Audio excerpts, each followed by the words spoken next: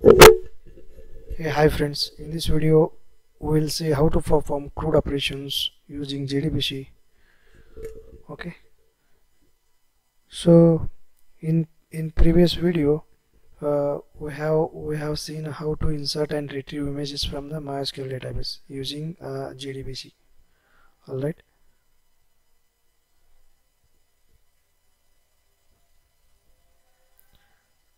So so the CRUD operations are equivalent to create, select, update and delete statement in SQL language. So so we are using MySQL database but uh, the technique and the source code is same uh, for other uh, data relational databases. All right? So so let us see how to perform these CRUD operations against uh, MySQL database using uh, JDBC API alright so let us uh, start with the how creating a table in a MySQL database. Alright so here uh, I have created a database. Uh, I, have, I have given a name as a java underscore demo. Alright. So in order to create a table uh, we use statement object. Okay so statement uh, interface object uh, used for executing a static SQL statement and returning the results it produces so if you want to execute static SQLs then uh, I highly recommend you to use stat statement interface object.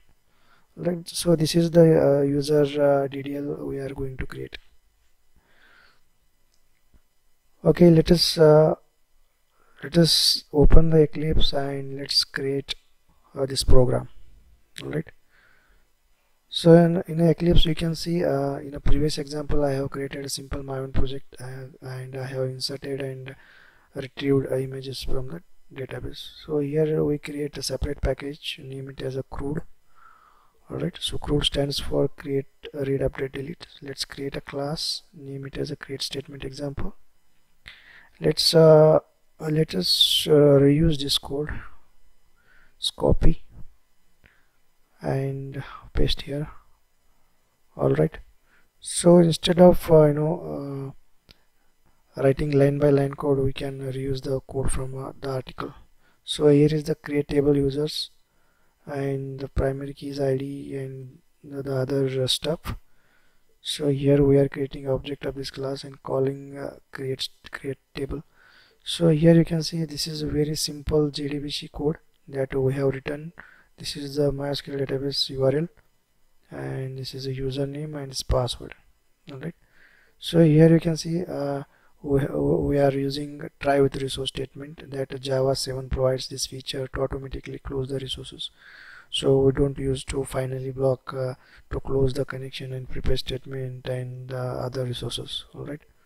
So here you can see we are following the steps like first we need to establish a connection that and then we create a statement using connection object and then we execute a query or update a query. Alright these are the three st uh, steps you need to remember. And finally the fourth step is uh, if uh, any exception occurs then this this method will be called. Alright so these are the simple steps uh, we need to you need to you need to follow. Alright so let's change the database. Uh, name it uh, java underscore demo right and let's run this program. And uh, we'll see how the table is created in the MySQL. So here uh, we have printed some this create statement on console. Okay let's refresh. And here we go. Uh, the users table is created. And uh, we, have, we haven't inserted any records in a table. Alright. So this is how we created a table in this database. Now let, next step is we need to insert a record in a database. So we, we use prepare statement object to insert records in a database. Because prepare statement uh, object provides a performance improves the performance. Like SQL test statement is pre-compiled and stored in a prepared, prepared statement object. So this object can be then used efficiently uh, execute this statement multiple times. So it is a pre compiled so uh, we can reuse the prepared uh, statement object multiple times. So it doesn't does not compile again and again right? So here let's create a class and uh, let us test this program. Go to the new class insert uh, and let's uh, reuse this code. So I recommend you to you to use use this uh, just copy the code and uh, mm, instead of writing line by line. Alright let's change the database name. Alright. Let's uh, let's build the maven project. So we have done changes so we need to sometime we need to build the maven project to reflect the changes. Let's run this program. Here we go. The record is inserted in users table. Let us see the MySQL workbench. Yes here we go. So the record is inserted in a MySQL database. All right. So the let's understand. Here uh, we, first step is we have established a connection and we, we have used a try with resource statement. And the second statement is we have created a statement using connection object. Uh, in this case we have used prepared statement. And next step is we execute the query or update the query. And here we printed the SQL exception. So simple steps. Alright so next step is uh, we need to create a, a uh, we need to create a program which uh, retrieves the records from the database alright let's create a class. Go to the CRUD package. Go to the new class. Create finish. Let's uh, reuse this code. Alright. Perfect. Let's change the database name. Alright. So similar steps uh, we have followed like uh, first we need to establish the connection so we are using try with try with resource statement to avoid the close uh, to, to avoid the closing resources. It will automatically close the resources. Next step is we create a statement using connection object. Third is execute the query or update the query. And finally we, we uh, this one more step is we process the result set object. So execute query returns the result set object. Here we have iterated it and uh, mm, again we have printed on the console. And if any exception then we have printed on a, on a console it's pretty simple. Let us build the maven project. Uh, we have done some, some changes so we need to build a maven project to reflect the changes. And let's run this program. Mm, here we go. Alright here you can see 1 comma Tony alright this is the record we have retrieved from the database alright the next step is we need to update a record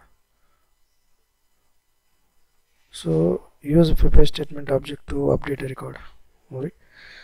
Again let's go to the CRUD package new class hit finish. Let's reuse the code. Alright. Let's change the database name java underscore demo so you can use data, any database name that you are comfortable. You can give a name to the database. So I have given in my case I have given java underscore demo. So this is a simple uh, update statement. Uh, just we are updating a name. That's all. By id alright so this is the Tony. Name is Tony. And we are updating with the name as a uh, RAM. Alright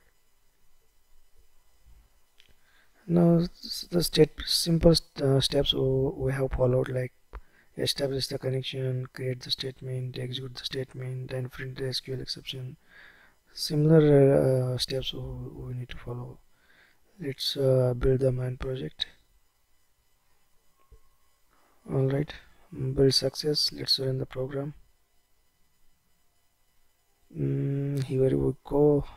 The program successfully executed let us see the updated yes the name is updated from Tony to Ram. Alright.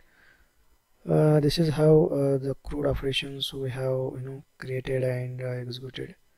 So here you can see uh, we have uh, used a redundant code.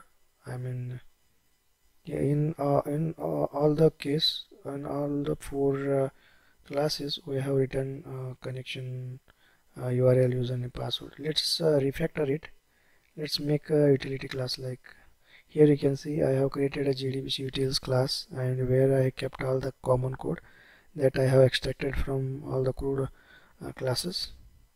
Alright. So this is uh, this is how uh, we basically this is the tip for you. This is how we refactor and uh, in real world projects we basically uh, avoid the redundant code or duplicate code. So you can refactor uh, more right? So here you can just uh, call the jdbc utils dot get connection method. That's it. It it looks clean and clear right now? Now one more thing is we we just call print sql exception method alright? So we remove this method from here now it looks very very small and clean and simple right? So same thing let us uh, do the changes in other classes as well.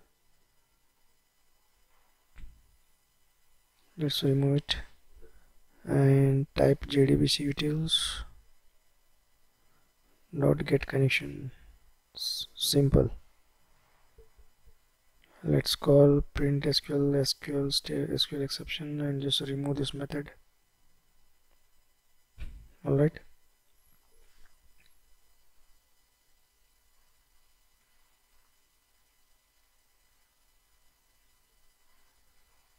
Similarly we can do in a select statement example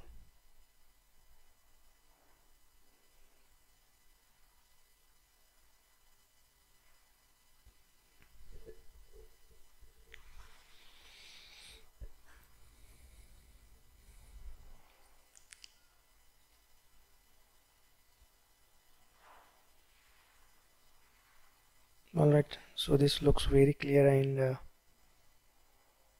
neat right? So this is how basically refactor the code. So always try to reduce the redundant or duplicate code. And uh, you can just refactor it by you know extracting in a common place. Like I have done I have created util JDBC utils and I have kept a common code over there and I have just called in respective classes alright guys uh, we have done changes in all the classes. Now uh, each class looks clean and uh, you know maintainable. So so you can do refactoring uh, if you feel like uh, you can you can extract this SQL statement in a common uh, JDBC utils so that you can you can change in a one only one place and it will get reflected in other places. So this is how we, we can create a code operations using JDBC connection I hope you guys uh, uh, you know enjoyed this video tutorial